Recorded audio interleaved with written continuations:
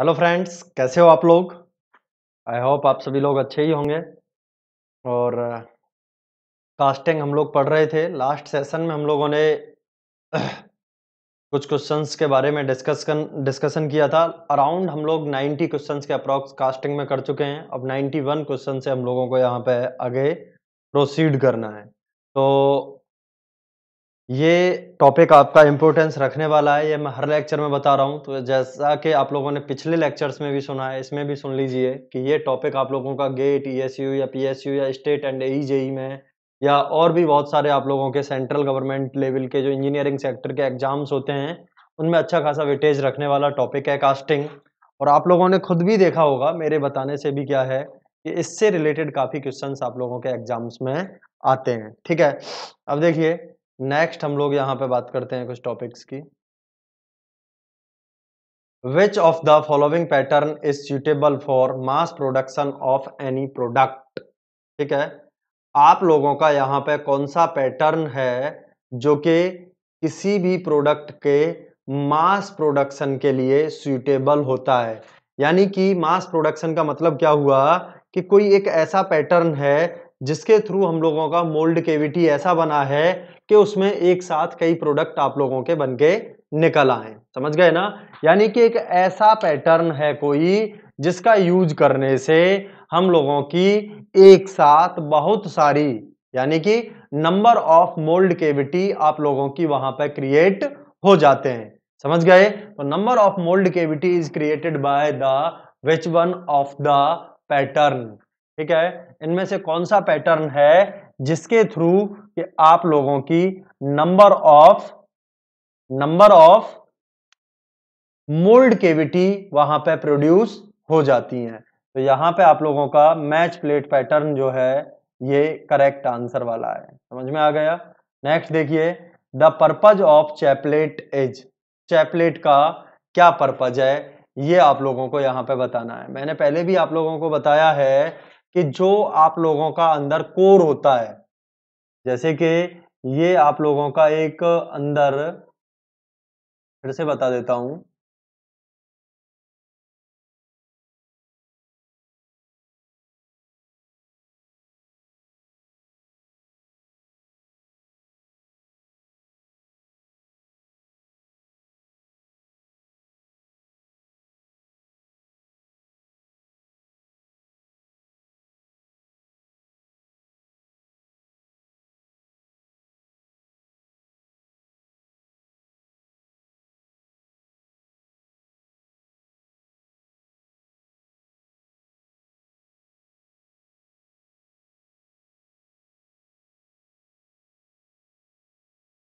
देखिए, यहाँ पे ये आप लोगों का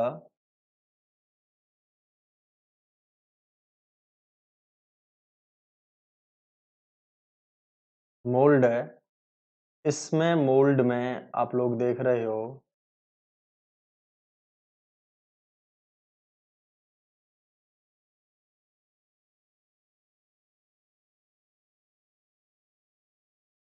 ये आप लोगों का यहाँ पे क्या है?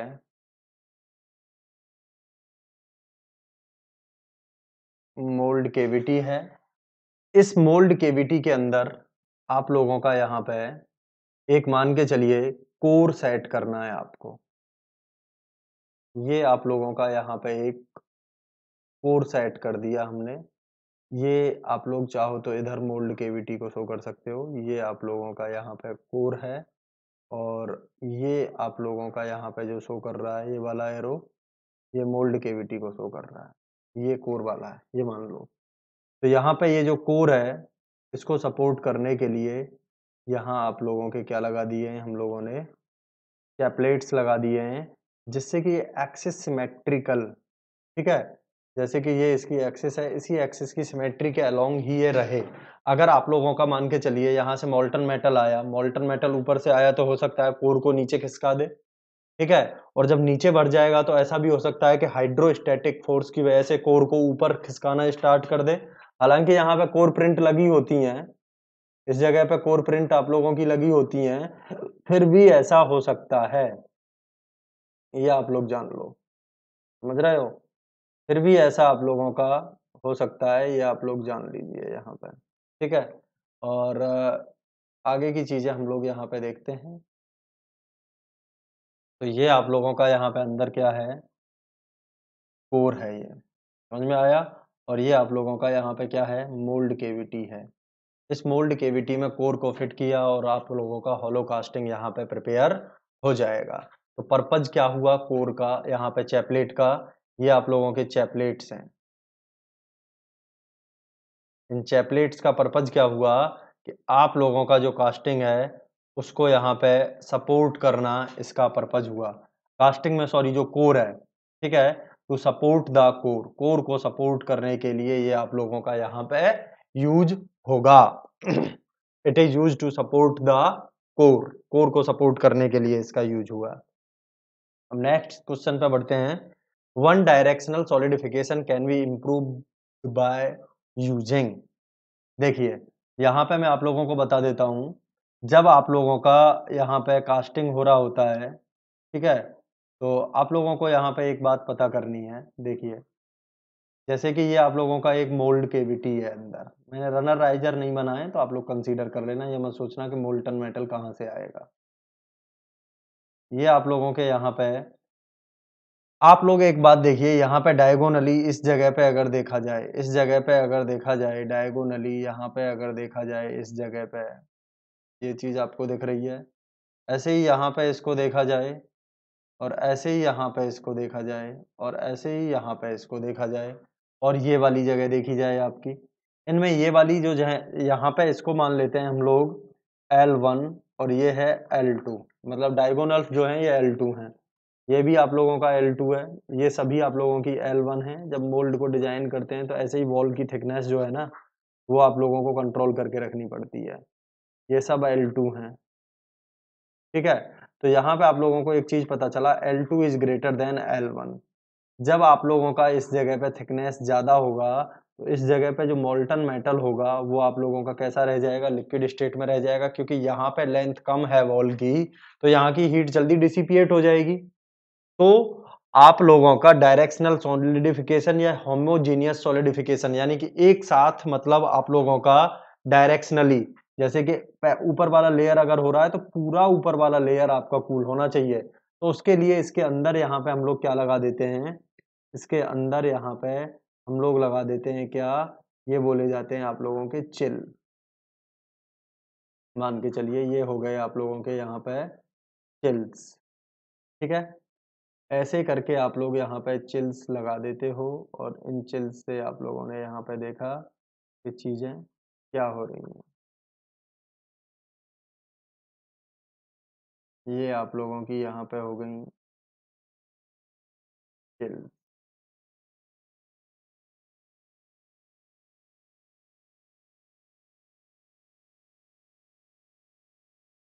ये आप लोगों की हो गई यहाँ पे चिल्स।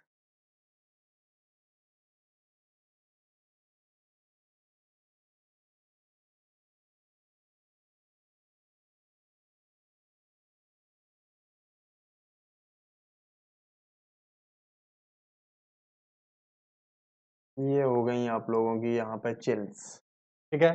अब ये जो चिल्स हैं, ये आप लोगों की यहाँ पे क्या करेंगी? अब ये जो रिमेनिंग लेंथ बची है, यहाँ वाली और यहाँ वाली, ठीक है? ये अब आप लोगों की इसी के इक्वल हो जाएगी। जैसे कि L1 मान के चलिए L1 one is equal to है आप लोगों का यहाँ पे कितना? 10 ठीक है? और L2 जो है पूरा L2 हो रहा था 14 और यहाँ पे ये जो थिकनेस है, ये हो गई आप लोगों की यहाँ पे कितनी? 4 तो ये आप लोगों का L1 के ही इक्वल हो गया सेंड का जो थिकनेस है। तो सेंड के थिकनेस को इक्विवेलेंट करने के लिए हम लोगों ने यहाँ पे किसका यूज़ कर लिया? चिल का। अब आप लोगों को एक चीज़ मैं और बताता हूँ, जैसे कि यहाँ पे ये आप लोगों का मोल्ड केविटी है। कुछ इस तरीके की सेप की मोल्ड केविटी भी तो हो सकती है कि कहीं पे आप लोगों का सेक्शन मोटा हो और कहीं पे पतला हो जाए, ठीक है? तो उसको करने के लिए जैसे कि यहाँ पे आप लोगों का ये पूरे में अगर सैंड भरा हो तो यहाँ पे आप लोगों की वेरिएशन हो गए। यहाँ तो बहुत ज़्यादा सैंड हो गई। अब सैंड में से तो अब यहाँ से आप लोगों का तो बीच वाला जो पोर्सन है, ये तो लिक्विडिफाई रह जाएगा, ये सॉलिडिफाई हो जाएगा। एक बहुत जल्दी कूल हो जाए और एक लेट से कूल हो तो आप लोगों के बीच में क्या बन जाते हैं? कोल्ड सट भी बन जाते हैं। ये भी प्रॉब्लम एक होती है। बीच में आप लोगों का सेपरेशंस भी आ जाते हैं, ठीक है? लेयर टाइप की भी बनी हुई दिखती हैं। तो इन सारी चीज़ों को ओवरकम करने के लिए यहाँ पे इस डिस्टेंस से इक्विवेलेंट डिस्टेंस मानते हुए, यहाँ से यहाँ तक इक्विवेलेंट डिस्टेंस मानते हुए, आप लोगों ने यहाँ पे किसको ले लिया? ये चीज़ आपको देखनी है यहाँ पे। ये आप लोगों ने यहाँ पे देख लिया। ये चीज़ आप लोगों की यहाँ पे क्लियर हो गई। तो ये आप लोगों का यहाँ पे क्या बोला जाता है? ये आप लोगों का बोला जाता है यहाँ पे पैडिंग। क्या बोला जाता है ये? पैडिंग बोला जाता है। समझ गए ना? तो ये भी डायरेक्शनल सॉलिडिफिकेशन के लिए है और ये भी। तो चिल एंड पैडिंग का जो मटेरियल होता है ना? यहाँ लिख लो आप लोग, ये बात भी कभी कभी पूछ ली जाती है। Materials material of the chill and padding chills and paddings are same as are same as the material of the chills and paddings are same as the किसके सेम होगा यहाँ पे same as the casting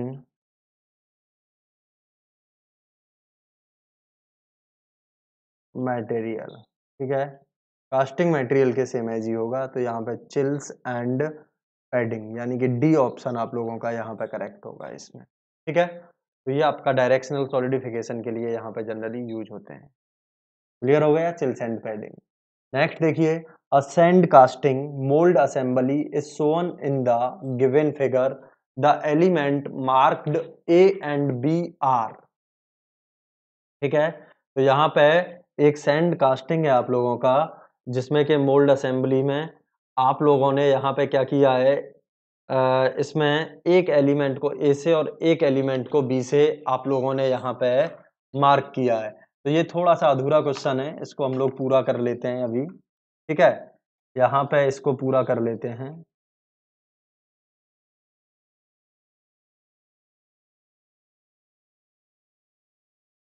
चलिए, इस तरीके का diagram ही मान लेते हैं हम लोग।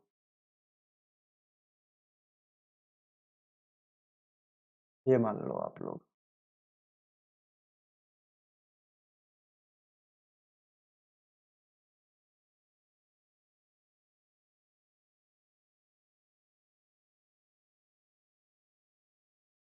ठीक है? यहाँ पे ये वाला जो पार्ट है, ये आप लोगों का बोला जाएगा स्प्रू को रनर भी बोल देते हैं कभी कभी वर्टिकल रनर और, अरे यार, मैं आंसर क्यों बता रहा हूँ? ये पार्ट ए है और ये पार्ट बी है। तो यहाँ पे ए और बी क्या है? तो ये पार्ट आप लोगों का क्या बोला जाता है भैया? स्प्रू और ये पार्ट बोला जाता है आप लोगों का यहाँ पे राइजर यानी कि ए आपका बोला गया स्प्रू और बी बोला गया राइजर तो इसमें डायग्राम था जो कि इसमें नहीं है सो लेकिन हम लोगों ने बना दिया। अब इससे आप लोगों का ये क्वेश्चन का आंसर आप लोग बड़े आसानी से यहाँ पे बता सकते हो। दैट मीन्स आप लोगों का sprue and riser A option यहाँ पे आप लोगों का करेक्ट होगा। क्या ऑप्शन करेक्ट होगा यहाँ पे? Sprue and riser A option यहाँ पे आप लोगों का करेक्ट होगा। नेक्स्ट देखिए, अब क्या कह रहा है? In solidification of metal during casting compensation during solid contraction as ठीक है? ये चीज़ आप लोगों को यहाँ पे देखनी है कि सॉलिड कॉन्ट्रैक्शन में आप लोगों का यहाँ पर क्या चीज़ देखने को मिलने वाला है?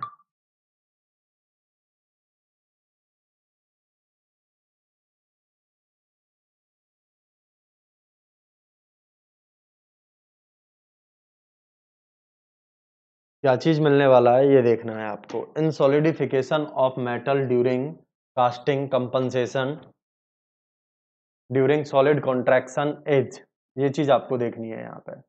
By the over size pattern solidification of metal during casting compensation during solid contraction solid contraction के टाइम पे क्या होता है? ये बताना है। देखिए, इससे पहले मैं आप लोगों को एक डायग्राम यहाँ पे बताता हूँ। क्या क्या चीज़ें आप लोगों को यहाँ पे देखनी पड़ती हैं, ये देखना है।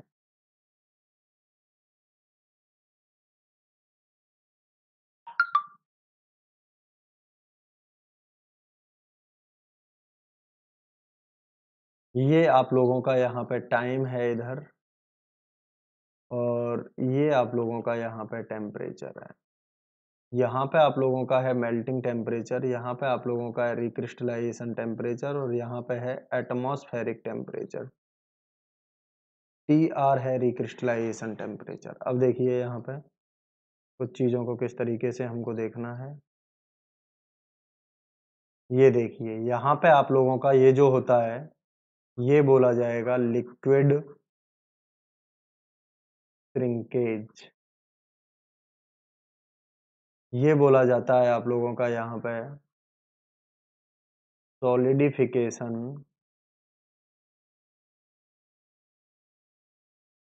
श्रिंकेज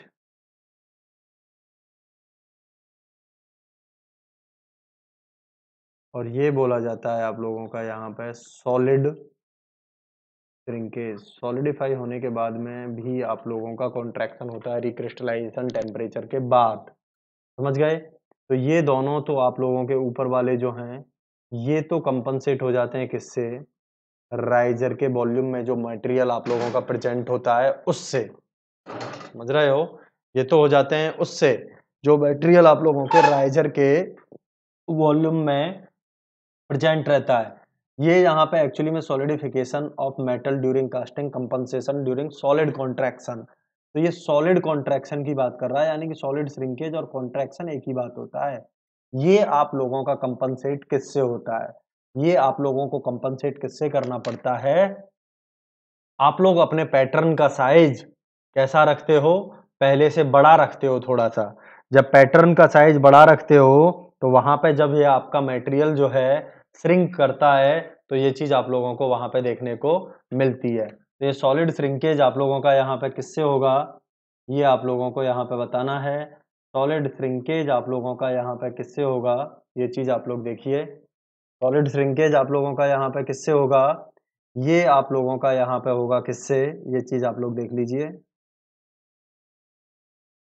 सॉलिड श्रिंकेज जो है, ये आप लोगों का होगा यहाँ पे किससे? Oversize ऑफ़ द पैटर्न और वो पैटर्न का पता है कौन सा अलाउंस बोला जाता है? श्रिंकेज अलाउंस बोला जाता है, ठीक है? Provided by the oversize pattern A option यहाँ पे आप लोगों का इसका करेक्ट होगा। कौन सा ऑप्शन करेक्ट होगा इसका? 95 का एक A provided by the oversize of pattern अब नेक्स्ट क्वेश्चन की तरफ़ बढ़ते हैं। नेक्स्ट क्वेश्चन आपका क्या कह रहा है? The pattern adopted for those castings ये ईस्टिंग नहीं है, ये कास्टिंग है। ठीक है? यहाँ पे आप लोग ध्यान रखिएगा, ये क्या है आप लोगों का? कास्टिंग है।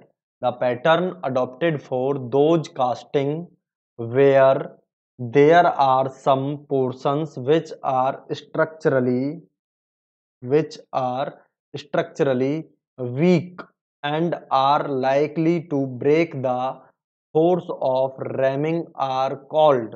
ठीक है? तो यहाँ पे आप लोगों का जो पार्ट यहाँ पे क्या हो जाता है? स्ट्रक्चरली वीक हो जाता है रैमिंग फोर्स से। ठीक है? तो उसके लिए आप लोग क्या चीज़ यूज़ करते हो? तो उसके लिए हम लोग बेसिकली क्या यूज़ करते हैं वहाँ पे? फॉलो बोर्ड पैटर्न का यूज़ करते हैं जिससे कि वो वहाँ पे आप लोगों का जो वीक पार्ट है, उसको ब्रेक ना होने दे। इसलिए follow board pattern is used अब नेक्स्ट देखिए, आगे बढ़ते हैं हम लोग। प्लास्टिक बोटल्स आर मेड ठीक है? प्लास्टिक बोटल्स आप लोगों की किससे बनाई जाती हैं? प्लास्टिक बोटल्स आप लोगों की ब्लो मोल्डिंग से बनाई जाती हैं, जिसमें कि आप लोगों का एयर भी होता है। किससे बनाई जाती हैं ये? ब्लो मोल्डिंग से भी बनाई जाती हैं। समझ में आ गया? तो यहाँ पे ए ऑप्शन आप लोगों का इसका करेक्ट होगा।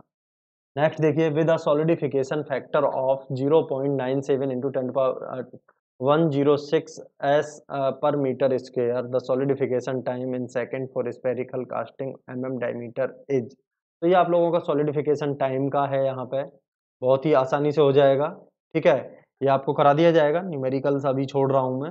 तो वो एक साथ लेने वाला हूँ न्यूमेरिकल्स का सेशन जैसे एक दिन और लिया था। तो आप लोग इसको थोड़ा सा बाद में देख लेना। नेक्स्ट देखिए which of the following pattern materials used in precision casting?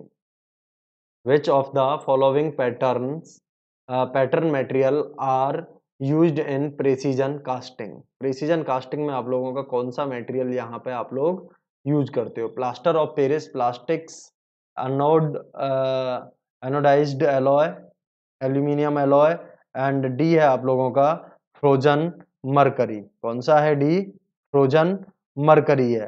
तो हम लोग भैया जनरली क्या यूज़ करते हैं? फ्रोजन मरकरी जो होता है, उसका हम लोग यूज़ करते हैं इन सारी चीज़ों के लिए। समझ गए?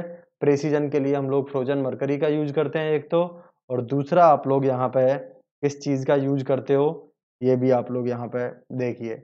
तो दूसरा आप लोग यहाँ पे प्लास्टिक्स का भी यूज़ कर सकते हो, ठीक है? प्रेसिजन कास्टिंग मतलब एक तरीके से ये इन्वेस्टमेंट कास्टिंग की बात करता है, ठीक है? Patterns are used in precision casting कौन से कौन से पैटर्न हैं आप लोगों के? ये आप लोगों को यहाँ पे बताना है। ठीक है? Patterns are used in precision casting पहला है आप लोगों का यहाँ पे जो यूज़ होता है वैक्स ध्यान रखिएगा। दूसरा आप लोगों का यूज़ होता है रेजिन्स तीसरा आप लोगों का यूज़ होता है पॉल प्लास्टिक और चौथा आप लोगों का यूज़ होता है फ्रोजन मरकरी। ठीक है? Frozen mercury. तो यहाँ पे आप लोगों का plastic and frozen mercury D op यानी कि ओनली बी एंड डी यानी कि आपका बी ऑप्शन यहाँ पे करेक्ट हो जाएगा। ये बात आप लोग जान लीजिए। बी ऑप्शन यहाँ पे आप लोगों का इसमें करेक्ट हो जाएगा। नेक्स्ट देखिए अब an expendable pattern is use in expendable का मतलब मैंने आप लोगों को पहले भी बताया है। एक्सपेंडेबल पैटर्न आप लोगों के वो होते हैं जिनमें कि आप लोगों का एक बार कास्टिंग करने के बाद उन्हें क्या कर दिया जाता है? तोड़ दिया जाता है। तो slush casting squeeze casting centrifugal या एंट्रीफ्यूगल नहीं है सेंट्रीफ्यूगल कास्टिंग है। नेक्स्ट आपका है इन्वेस्टमेंट कास्टिंग तो इन्वेस्टमेंट कास्टिंग में आप लोगों के एक्सपेंडेबल पैटर्न ही यूज़ होते हैं। जनरली वैक्स के रेजिन के प्लास्टिक के या फिर मरकरी के। ये वन टाइम यूजेबल ही होते हैं। एक बार यूज़ करने के बाद में इनको छोड़ दिया जाता है। Dressing in foundry practice refers to. ठीक है? Dressing in foundry practice refers to. Dressing आप लोगों का फाउंड्री में किस चीज़ के लिए किया जाता है, ये बात आप लोगों को यहाँ पे बतानी है। Dressing in foundry practice refers to. तो यहाँ पे आप लोगों का ये चीज़ बताना है। A, method of cleaning the casting. An inspection method for castings, a method of deoxidization of molten metal, the formation of oxides on the molten metal surface ठीक है? ये चीज़ आप लोगों को यहाँ पे बतानी है। तो आप लोगों का जो ड्रेसिंग बेसिकली जो होता है तो मोल्टन मेटल जो होता है उसकी सरफेस पे जब कुछ सॉरी जब कुछ आप लोगों का एयर एंट्रैप करके आता है तो उस एयर को एंट्रैप करी हुई जो एयर होती है, उसको वहाँ से रिमूव करने के लिए, समझ रहे हो? जो फॉर्मेशन ऑफ़ ऑक्साइड्स जो हो जाते हैं, उनको रिमूव करने के लिए हम लोग जनरली ड्रेसिंग का यूज़ करते हैं। Removal of oxides layer from the casting material ठीक है? ये चीज़ है। नेक्स्ट देखिए असरसन क्या कह रहा है? Aluminium alloys are cast in hot chamber die casting machine aluminium जो है हॉट चैम्बर में होती है। यह है दूसरा देखिए reason aluminium alloy requires high melting than compare to zinc alloy ठीक है? ये बात आप लोगों की बिल्कुल सही है। जिंक का जो होता है, वो कम होता है मेल्टिंग टेम्परेचर एल्यूमिनियम का ज़्यादा होता है। और मैंने आप लोगों को बताया था हॉट चैम्बर डाई कास्टिंग में हॉट चैम्बर डाई कास्टिंग जो होती है, इसमें क्या चीज़ होती है, ये देखना है, ठीक है? हॉट चैम्बर डाई कास्टिंग जो होती है, इसमें क्या चीज़ होती है, ये देखनी है। हॉट चैम्बर डाई कास्टिंग जो होती है आप लोगों की, इसमें हम लोग क्या चीज़ देखते हैं, ये आपको यहाँ पे देखना है। हॉट चैम्बर डाई कास्टिंग और कोल्ड चैम्बर डाई कास्टिंग। ठीक है, हॉट चैम्बर डाई कास्टिंग की बात कर रहे हैं हम लोग और कोल्ड चैम्बर डाई कास्टिंग की बात कर रहे हैं। अब इसके बाद में हम लोग यहाँ पे हॉट चैम्बर डाई कास्टिंग में वो मटेरियल यूज़ करते हैं जिनका मेल्टिंग टेम्परेचर कम होता है। ठीक है? तो यहाँ पे आप लोगों को देखना है हॉट चैम्बर डाई कास्टिंग में कौन से होते हैं? लेस मेल्टिंग पॉइंट वाले के लो मेल्टिंग टेम्परेचर जिनका होता है, वो यूज़ होते हैं। और कोल्ड में कौन से होते हैं? जिनका हाई मेल्टिंग टेम्परेचर होता है। समझ में आ गया? तो यहाँ पे आप लोगों का जो ये है, जिंक जो है, इसका कम है। ये बात तो रीजन तो आप लोगों का सही है, लेकिन असरसन यहाँ पे सही नहीं है। एल्यूमिनियम एलॉय जो हैं, इनको हम लोग इसमें कोल्ड चैम्बर डाई कास्टिंग में यूज़ करेंगे। तो यहाँ पे क्या हुआ? आप लोगों का A is false but R is true यानी कि डी ऑप्शन यहाँ पे आप लोगों का इसका करेक्ट हो जाएगा। A is false but D is true ये चीज़ आप लोगों की यहाँ पे होगी। ए फॉल्स है, लेकिन यहाँ पे आप लोगों का डी ट्रू है। नेक्स्ट देखिए match list first with list second and select the correct answer using the following list ठीक है? ये चीज़ आप लोगों को यहाँ पे पता करनी है। अब देखिए यहाँ पे आप लोगों का क्या चीज़ कैसे हो रही है? हॉलो स्टेट यहाँ पे हॉलो स्टेट का मतलब क्या है? ये आप लोगों का किसकी बात कर रहा है? हॉलो कास्टिंग की बात कर रहा है। तो हॉलो कास्टिंग यहाँ पे सेंट्रीफ्यूगल से भी होती है और स्लस से भी होती है। ठीक है? लेकिन यहाँ पे आप लोगों का सेंट्रीफ्यूगल जो होता है, इसमें आप लोगों को एक चीज़ पता होनी चाहिए कि जब हम लोग यहाँ पे सेंट्रीफ्यूगल की बात करते हैं, ये बात क्लियर करनी है, यानी कि यहाँ पे सेंट्रीफ्यूगल और स्लस दोनों होलो कास्टिंग की बात करती हैं, लेकिन यहाँ पे इसने होलो स्टेट तो कह दिया है, लेकिन इसने ये नहीं बताया है कि पाइप है या क्या है। तो यहाँ पे अगर सेंट्रीफ्यूगल में पाइप वगैरह हुए तो तो बनेंगे, यानी कि राउंड और सिलेंड्रिकल शेप के होलो सेक्शंस जो होते हैं, वो तो सेंट्रीफ्यूगल से आसानी से यहाँ पे बन रहे हैं। अदर भी बनते हैं, ऐसा नहीं है, लेकिन कुछ ऐसा भी होता है जैसे कि सेमी सेंट्रीफ्यूगल की बात करने लग जाओ आप, ठीक है? या फिर आप लोग वहाँ पे फुल सेंट्रीफ्यूगल की बात करने लग जाओ, या ट्रू सेंट्रीफ्यूगल की बात करो तो वहाँ पे कॉन्ट्राडिक्शन आ जाता है। तो कुछ आप लोगों के जो प्रोडक्ट बनते हैं सेंट्रीफ्यूगल पे, वो सॉलिड भी बनते हैं। समझ गए ना? तो यहाँ पे आप लोगों का हॉलो स्टेट जो है, इसमें आप लोगों का यहाँ पे क्या आएगा? प्लस कास्टिंग आएगा। कौन सा आएगा? स्लस कास्टिंग आप लोगों का यहाँ पे आएगा। अब यहाँ पे ये कह रहा है डेंटर्स ठीक है? ये डेंटर्स जो हैं, ये आप लोगों के यहाँ पे किसमें बनते हैं? ये चीज़ आप लोगों को यहाँ पे बतानी है। ठीक है? तो बी का आप लोगों का यहाँ पे क्या होगा? यहाँ पे बी का भी होगा आप लोगों का इन्वेस्टमेंट कास्टिंग भी बनते हैं, क्योंकि साइजिंग में छोटे भी होते हैं और प्रेसाइज भी बनाने हैं डेंटर्स को। ठीक है? अब देखिए एल्यूमिनियम एलॉय पिस्टन जो है, ये बेसिकली ग्रेविटी डाई कास्टिंग से बनते हैं। ठीक है? रॉकर आर्म जो है आप लोगों का, ये बेसिकली बनता है किससे?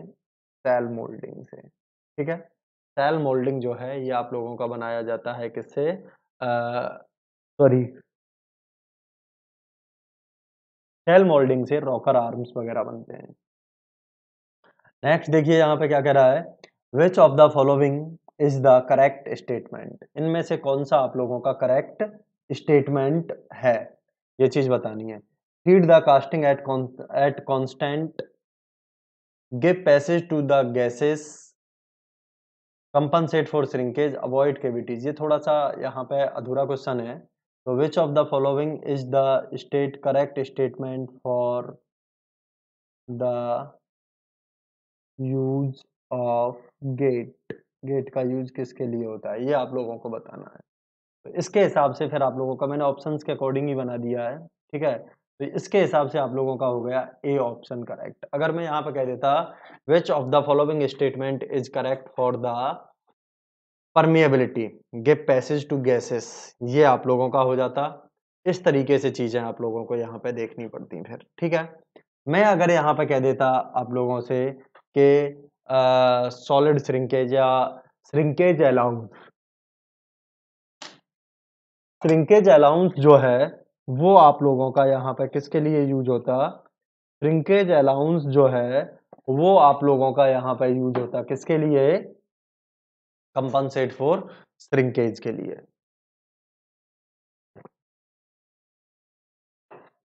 ये चीज़ क्लियर हो गई आप लोगों की? अब नेक्स्ट हम लोग आगे बढ़ते हैं। One of the important advantages of metal patterns over wooden patterns is that it is readily available. It is easy to make. It is useful in machine molding. It is less costly.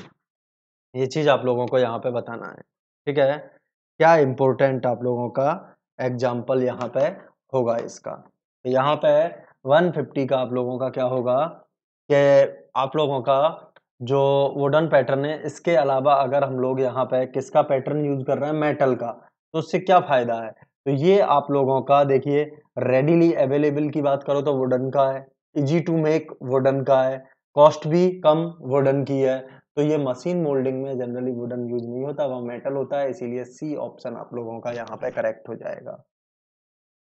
The empty portion of cupola अब the preheating zone is called as क्या बोला जाता है? Empty portion जो है ये आप लोगों का क्या बोला जाता है? स्लैक ब्रो ब्लैट स्टैक तो यहाँ पे आप लोगों का स्टैक जो है, ये करेक्ट ऑप्शन है। यहाँ पे डी आप लोगों का करेक्ट ऑप्शन है, ये चीज़ आपको बतानी है। ठीक है? D is the correct next देखिए in sand moulding the bottom flask is called sand moulding में बॉटम फ्लास्क जो है, ये तो आप आँख बंद करके बता दोगे, क्या बोला जाता है? ड्रैग बोला जाता है। समझ गए ना? Bottom flask is called drag. आप लोगों का जो बॉटम फ्लास्क होता है, उसको हम लोग क्या बोलते हैं जनरली? ड्रैग बोलते हैं। नेक्स्ट देखिए यहाँ पे a third flask sometimes use between cope and drag is called वो क्या बोला जाता है? चीक। जैसे कि आप लोगों ने देखा होगा, एक साइड व्यू बना लेते हैं यहाँ पे। ये आप लोगों का टॉप पोर्शन है। ये आप लोगों का मान के चलिए फ्लास्क का मिड वाला है। और ये आप लोगों का जो है बॉटम वाला है। तो ये अपर मोल्डिंग फ्लास्क आप लोगों का बोला जाता है, यहाँ पे क्या बोला जाता है? ये अपर मोल्डिंग फ्लास्क बोला जाता है और ये आप लोगों का intermediate intermediate moulding flask बोला जाता है और ये आप लोगों का यहाँ पे क्या बोला जाता है? लोअर मोल्डिंग फ्लास्क बोला जाता है। ये आप लोगों का बोला जाता है कोप और ये बोला जाता है ड्रैग और ये बीच में जो बचा हुआ है, ये बोला जाता है चीक इसी की बात की है इसने। Sometimes use between cope and drag cope and drag के बीच में चीक यूज़ हो रहा है तो ये आप लोगों का डी ऑप्शन हो गया है यहाँ। अब देखिए, small amount of carbonaceous material sprinkled on the inner surface of mold cavity is called. सब लोग जानते हैं? बेकिंग सैंड कौन सा है? बेकिंग सैंड है। समझ गए ना? यही आप लोगों का कार्बोनियस मटेरियल है बेकिंग सैंड या सी कोल भी बोलते हैं, जो कि आप लोगों का यहाँ पे यूज़ होता है। ये चीज़ क्लियर हो गई आप लोगों की यहाँ पे? इसमें कोई दिक्कत नहीं होगी। अब नेक्स्ट हम लोग यहाँ पे बात करते हैं। Sprue in casting refers to gate runner riser vertical passes sprue is the vertical passes ये आप passage it is the answer अब देखिए, यहाँ पे ये क्या कह रहा है? The allowance that is provided to compensate for the contraction of metal during its solidification is known as ठीक है?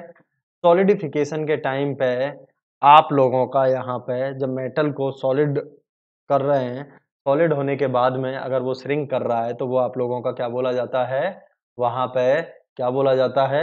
श्रिंकेज अलाउंस बोला जाता है। That means B option is the correct यहाँ पे बी ऑप्शन आप लोगों का इसका करेक्ट हो जाएगा। नेक्स्ट देखिए the property of sand by virtue of which takes any desired pattern shapes under pressure and retains it after the pressure is removed is known as ठीक है?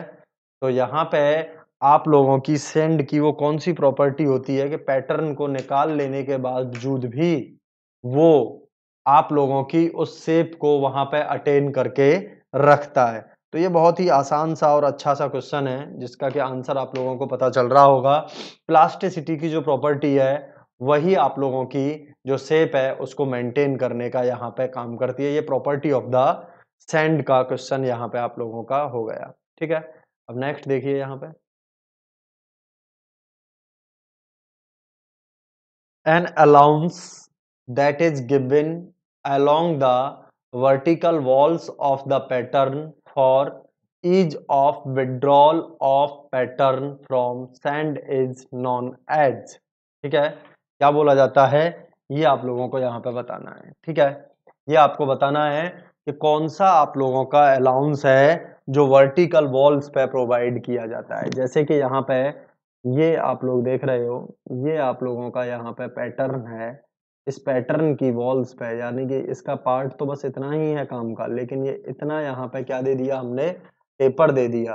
तो ये जो टेपर है, ये आप लोगों का यहाँ पे ज़ीरो से थ्री डिग्री भी दिया है कई जगह और कई जगह ये आप लोगों का हाफ़ से टू डिग्री भी दिया होता है। वैसे जनरली ये वैल्यू आप लोगों का ज़्यादा करेक्ट है और ये भी आपका कई जगह आंसर्स में आ चुका है तो इसीलिए हमने इसको भी ले लिया। तो वर्टिकल और ये जो टेपर यहाँ पे प्रोवाइड किया है, इसको हम लोग क्या बोलते हैं? ड्राफ्ट अलाउंस बोलते हैं। ये बात ध्यान रखिएगा।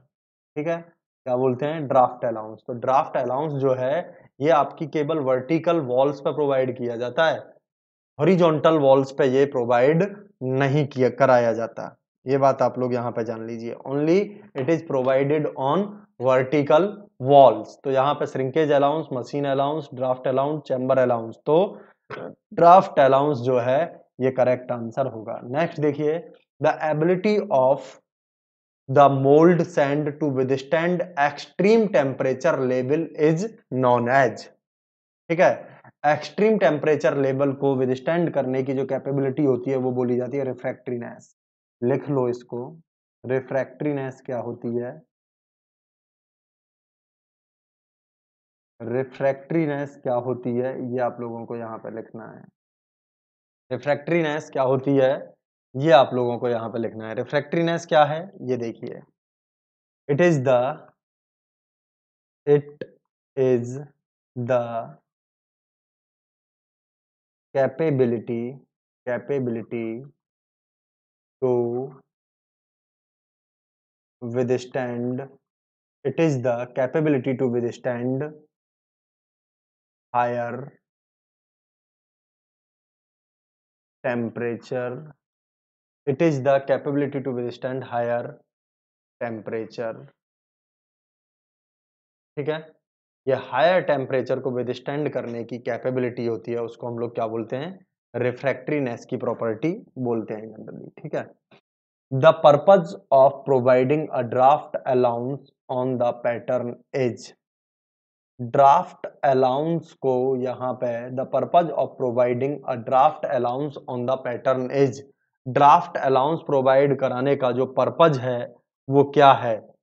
To provide good draft on air in the sand moulding to provide for distortion that might takes place to remove the pattern easily from the molding, to increase the strength of the mold walls. तो सबसे सही जो option है यहाँ पे, ये सी है।